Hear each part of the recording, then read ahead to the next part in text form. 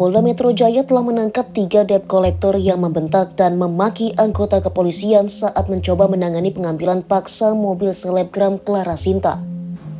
Sebelumnya, Clara Sinta mengalami pengambilan paksa mobil miliknya oleh kawanan debt collector di kawasan Tebet, Jakarta Selatan pada Rabu 8 Februari 2023. Kompas.com merangkumnya sebagai berikut.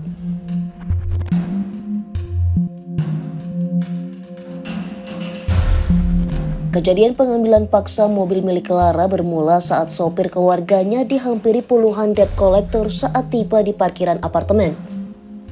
Para kawanan debt collector itu pun merampas kunci mobil tersebut dengan alasan pemilik kendaraan menunggak pembayaran cicilan.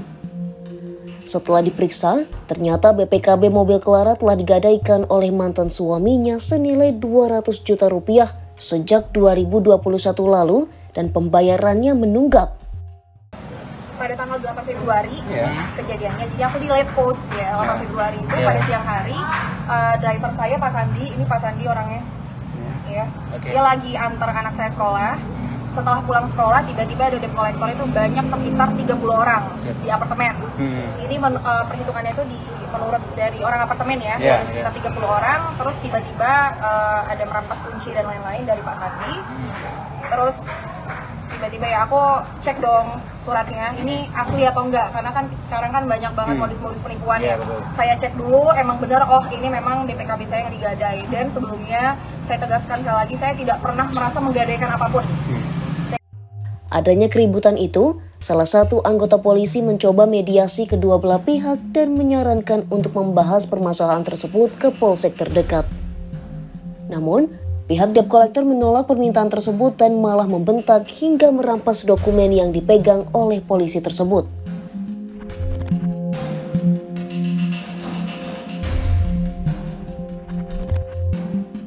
Atas aksi pengambilan paksa mobil miliknya itu, Clara menegaskan mobil Toyota Alphard itu ia beli secara cash atau tunai. Namun, dengan adanya kejadian penarikan mobil tersebut, Clara merasa ada dugaan penggelapan yang menyangkut mantan suaminya. Pasalnya, mantan suami Clara menitipkan BPKB mobilnya ke seorang teman yang kemudian oleh temannya itu diberikan kepada pihak lain.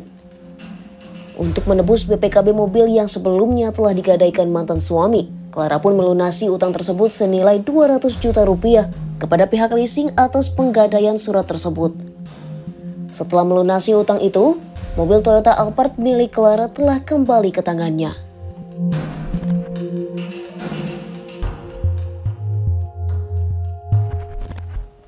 Clara melaporkan debt collector yang merampas paksa mobilnya dan membentak polisi ke Polda Metro Jaya. Clara memastikan bahwa proses hukum kasus perampasan mobil yang telah dilaporkan ke Polda Metro Jaya tetap berlanjut. Ia menyebut semua pihak dari mulai penyebab mobilnya ditarik hingga siapa yang menarik dilaporkan ke pihak berwajib.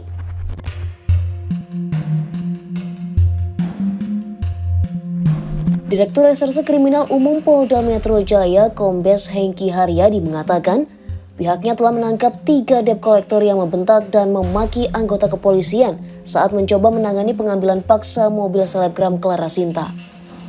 Hengki menyebut, Tiga pelaku tersebut ditangkap di lokasi terpisah.